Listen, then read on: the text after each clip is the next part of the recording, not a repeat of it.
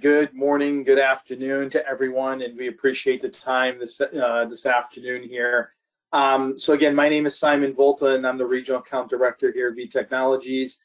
Uh, I'm going to take you all through a very short presentation here uh, before I uh, turn this over to Jason um, on my team, who's going to take everyone through a very short demonstration of Starship and the Macola integration. Um, and again, like Megan said, if there's any questions, please put those into the chat so we can get those here at the end. so um, we appreciate um, all the business over the years uh, with ShipGear. Uh, I'd like to say thank you to everyone on the call thus far uh, for being uh, loyal to our ShipGear product. As many of you are aware, we have uh, decided to sunset that product at the end of 2023. Uh, and now here we are talking about our Starship Cloud solution and what we can migrate you to uh, to take advantage of the new technology and the new uh, solution that is out there. Okay, so I'm going to get started here. Um, second, okay. So um, what uh, are some of your shipping challenges, right? So as we look at how we can address some of the uh, more advanced um, needs and challenges that customers uh, have today uh, in their um, in operation. Um, we look at a few things, you know, things like, you know, how many websites, you know, do I need to log in and process shipments? So many of you, and all of you are using ShipGear today, uh, and that's what you brought you here. Uh, but you may also be using other applications outside of ShipGear and WorldShip or Ship Manager, things like Post Office, things like LTL platforms that you might be going to different websites to rate shop um, your LTL and um, uh, in your pallets uh, that you might be doing today. So those are things that Starship can potentially address, and we'll talk more about that as well as we go through the presentation. Um, LTL shipments, there's got to be an easier way to manage. When we talk to a ShipGear user today, many ShipGear users have a need, uh, small or big, uh, where they're shipping, you know, either from a few pallets a day to many pallets a day or a week um, and they are going to multiple sites and they're spending a lot of time um, getting a rate quote, processing a bill of lading, things like that. Um, and again, Starship has that capability of loading those various carriers uh, into its application, allowing you to do in, um, all of that process and streamline that entire process for you so you can go to one place and not have to worry about five or six different portals. Again, you must, you know, manually update Macola, right? So some of you are using ShipGear, which is great, but again, if you're using any other applications to ship outside of ShipGear that's not automated, someone has to take that paper trail and bring it into the front office to update Macola with the right information. That could be very time consuming. Again, a need that uh, we'll address here with Starship. Um, shipping costs too high. Whenever you're trying to rate shop manually with between applications, even between say FedEx and UPS, you are always having to be forced to go to different applications to get those rate quotes. Uh, Starship having one screenshot, and Jason will take you through this here in a moment, um, but seeing all of those rates together uh, and having that capability allows you to pick the most effective rate uh, for that specific shipping lane. So again, as we already spoke about, we can solve a lot of these different challenges with our solution here. Um, so just to give everyone kind of a quick rundown of V Technologies uh, and how this um, all came to be. Um, so uh, for those of you who don't know, VTech itself was founded back in 1987. Um, Starship is not a new product by any means. Starship has been around, our flagship product since 1989. Um, it's been around for 30 plus years. Um, obviously, it's been running on the on-premise version um, for all these years and still is running on-premise. However, back three years ago, we launched our cloud solution for Starship, which kind of really has launched itself over the last few years, um, and really where customers are starting to adapt to more of a cloud strategy. Um, so now we're seeing a lot of customers take um, and adopting that product. So um, again, 35 plus years doing what we do. Um, we were just uh, recognized by UPS this past year um, as a premier partner, uh, which is a very um, rewarding recognition for us, uh, being a top partner of theirs for the last year. Um, we, we work really closely with that team in, in supporting them um, with their digital connection program, along with making sure our APIs are, are pretty strong with them as well. Um, we have 17 plus years in the Macola space. Um, we started with Macola back in 2005, uh, developing the plug and play connectors. So again, everything we're about to show you, again, it's all plug and play. There's no customizations or anything like that that we need to be worried about. Um, so again, you don't um, have a need for you know custom development or anything like that. So when we look at Starship and kind of really the main features and what we're going to you know offer to all of you here by moving over is really this multi-carrier strategy. Number one, we already talked about it, star or rate shopping. Um, having the ability to live rate shop in the environment one place um, is really key to a lot of users. And I think you'll see that here in the demonstration coming up. Best way rules. Um, again, being able to set various rules of how you like to um, ship a particular package, ship a particular pallet. Um, you can set up various rules uh, based on transit time, based on weight, um, you name it, we can set up those rules for you within the application. Um, parcel and LTL shipping in one place. I think I've already talked about that multiple times, right? Having that ability to go to one place and be able to see that those rates and be able to get all your documentation needed. Metrics, um, again, having a full dashboard available to you to get all of the information you need from address corrections, late deliveries, um, maybe you want to see what you're quoting your customer versus what the carrier is quoting you to get maybe a variance report um, to make sure you're not losing money in shipping. So again, you have the ability to running various reports, looking at a distribution map um, as well, which I'll, I think I have a slide here coming up to show you that. But again, giving you all of those metrics that needed um, that you need to have better negotiations with your carriers. And then just you know really improving the processing efficiencies right? So that's what we're trying to do is not have you go to multiple platforms go to one place have everything in front of you to really streamline and get those products out the door as quickly as possible.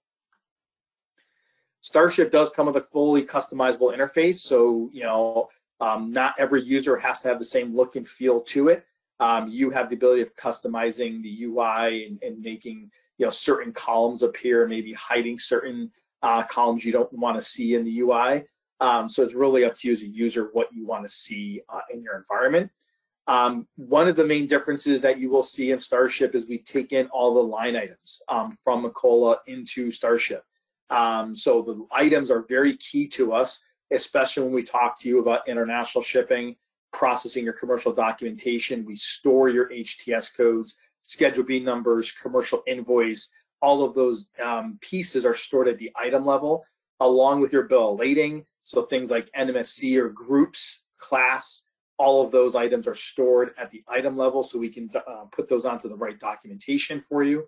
Uh, and then hazmat, if anyone is shipping hazardous today, um, we have the ability of producing like hazardous documents. So therefore, um, you know, we have hazmat profiles that we can set up at the item level. So again, that's the reason we pull those in.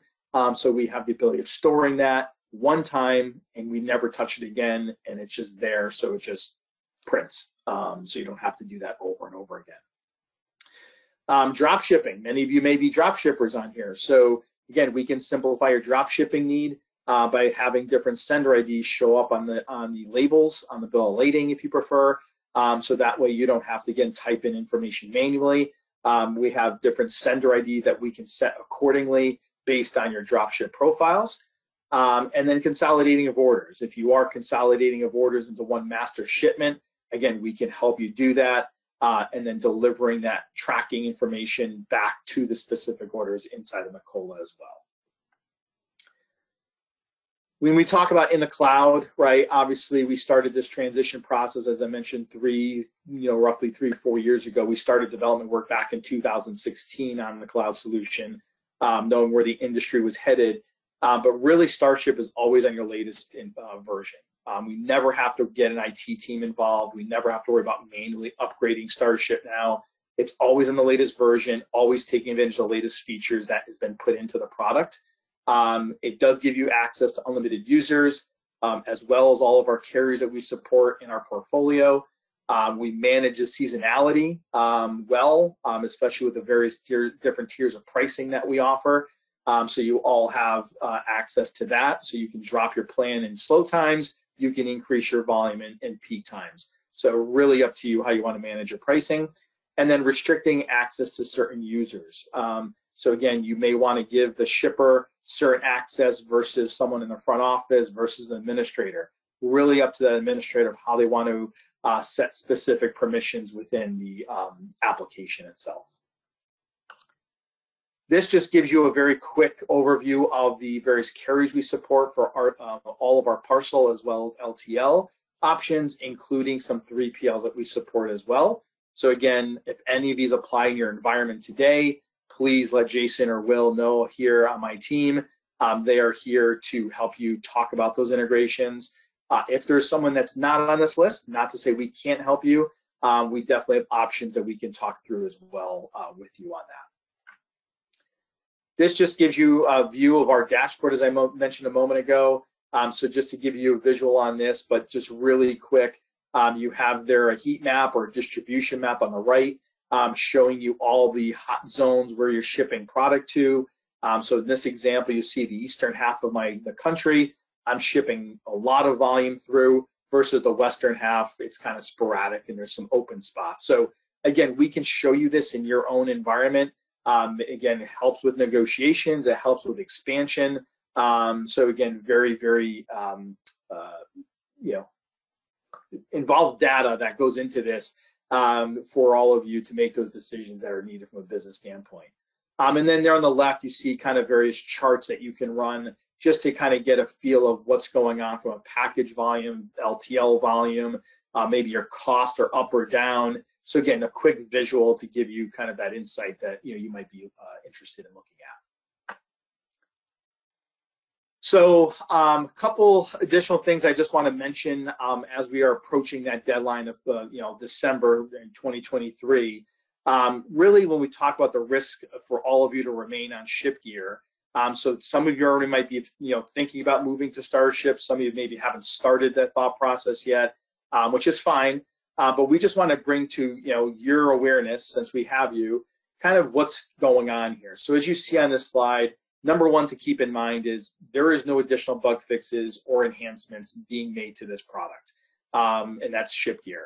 Um, so if something were to go awry from now until December, um, that does need a developer to get involved to fix, unfortunately, there are you know no more developers to work on this product. All of our developers are working on our Starship solution only to make that a better product for everyone here. Um, so keep that in mind. Um, the last version of ShipGear was published and released. Um, that is version 12. Um, that's what just came out to support the latest WorldShip version of um, for 2023. So if you haven't taken that, please do. So ShipGear can continue to work for you. But that will be the last version of ShipGear um, going forward. So again, as long as they don't make any more updates from now until the end of the year, everyone will be fine. However, once they release their new version, that's when you'll need the new ShipGear version, which will not be available. Um, again, no additional ShipGear releases will be available there, as I mentioned. Um, everyone here got the notice about the pricing for ShipGear increase back, I think it was October-ish timeframe. Um, so everyone's been paying obviously higher fees um, for limited integration. When I say limited, meaning it only can support parcel carriers um, and then also no additional enhancements. So it's really on its last leg um, here. So you might as well, for the very little cost differential, um, jump into a product with all of our developers and enhancements being put into it. Promotional pricing uh, may not be available the second half of the year. Right now, we have some great promotions, which we'll talk about at the end, um, going on that may be pulled away second half of the year because of our backlog that we fully expect. And that kind of leads me here um, to the last bullet point, very long wait times to be you know onboarded to Starship if we wait till the end to migrate. Um, we fully expect by July, August timeframe um, that we may have uh, several months of backlog uh, because right now we do have 2,000 plus customers still running on the application. Um, so again, we want to make sure that Everyone is aware of that. Um, we cannot expedite anybody if you call us in October or November um, to tell us, hey, we want to go to Starship. You're just going to have to wait in the queue, unfortunately, um, and wait the turn that everyone else has been waiting for. So spots are filling up quickly, um, but again, just keep that in mind. Um, and then again, right now, um, why act now? Right now, we have the 35% off, right, Um, for uh, the first year of subscription. Uh, we do have an offer for multi-years. Some customers have asked for if I buy three years of Starship, what can I get?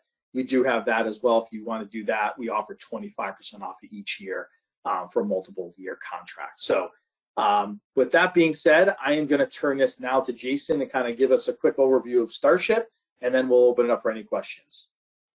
So Jason, screen is yours. Thanks, Simon.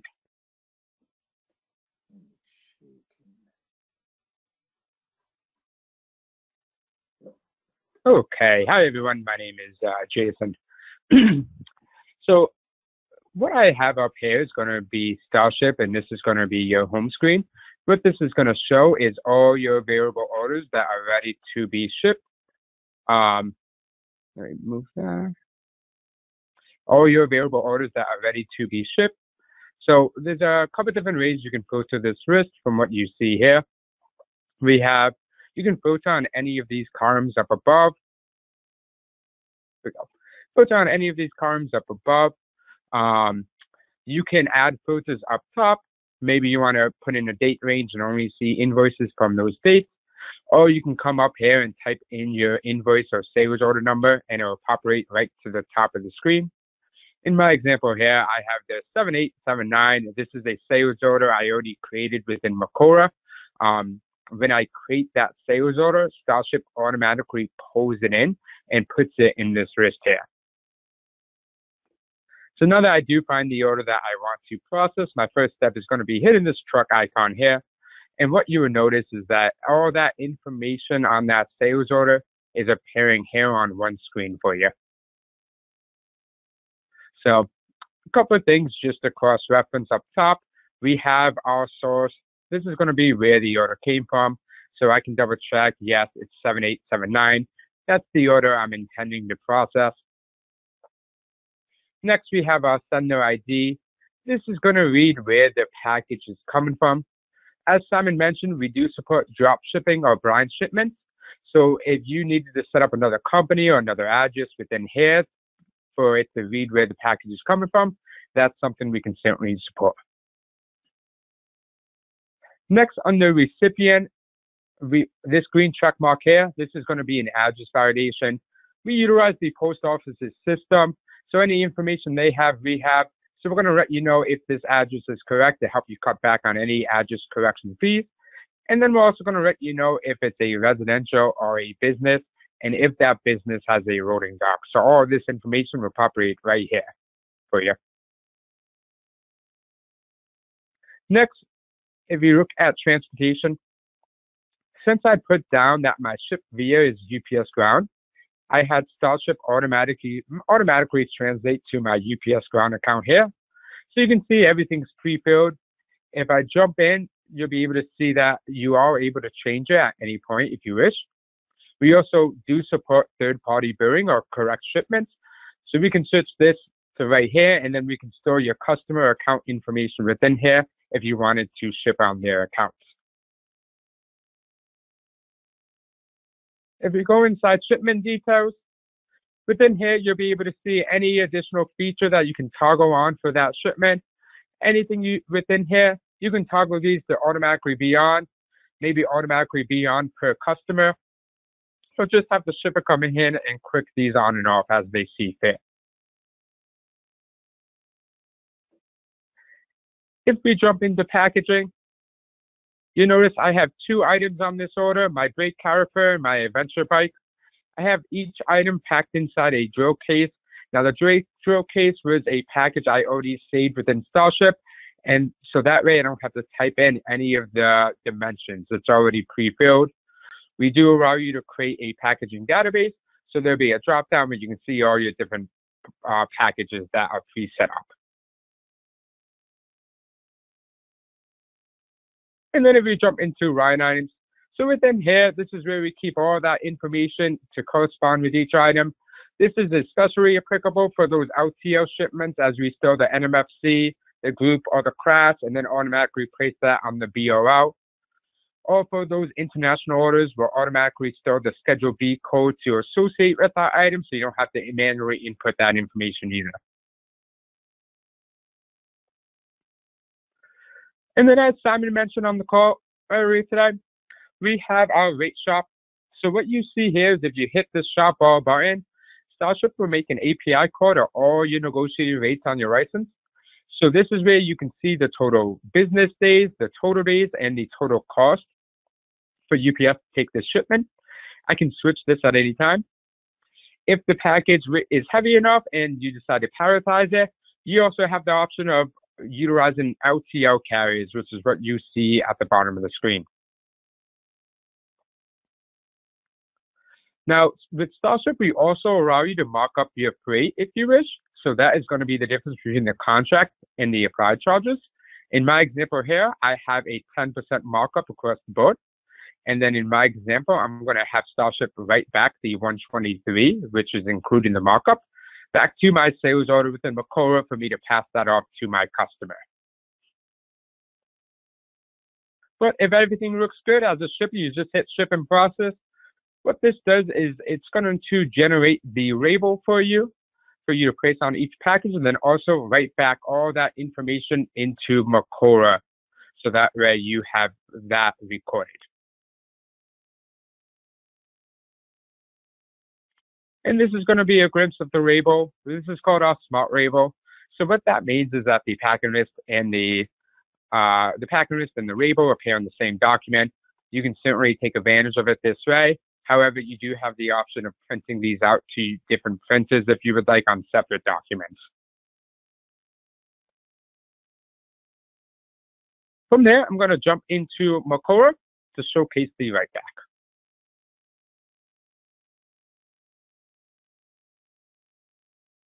So if I open up that same order I processed, Starship writes back into two, two locations within the order.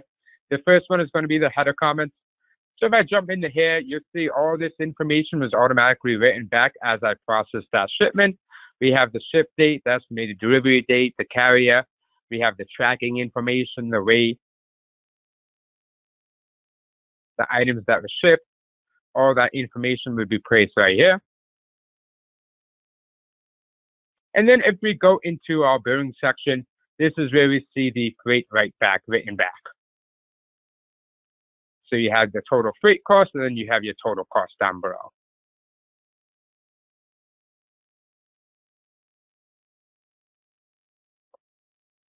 Then just to jump back into Starship, I can give you a glimpse of our dashboard. So as Simon mentioned, one of the things we do provide you is going to be a heat map so as you can see, I can see my most popular shipping areas across the United States. I can update this and change the time frame, maybe change the carrier. So you can put filters on what type of information you want to see. We also add additional graphs on the right-hand side. Just a nice, quick, easy way to see your total shipments and your total cost. We have additional reports that can be exported out of Starship right in here. So anything you see within here can be created a report and exported out.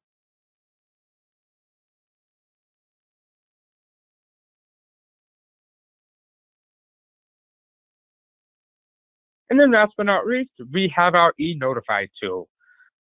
So common occurrence for most companies is now that we send out our package, how do we get the tracking information to our customer?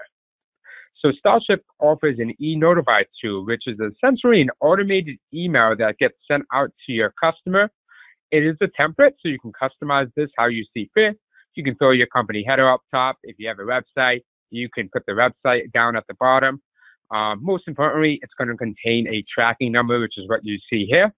And then when your customer receives this email, they can click on this hyperlink and it'll redirect them directly to the carrier's web page for them to track their own shipments. So that's Starship. That's all I have to show for you. Take care.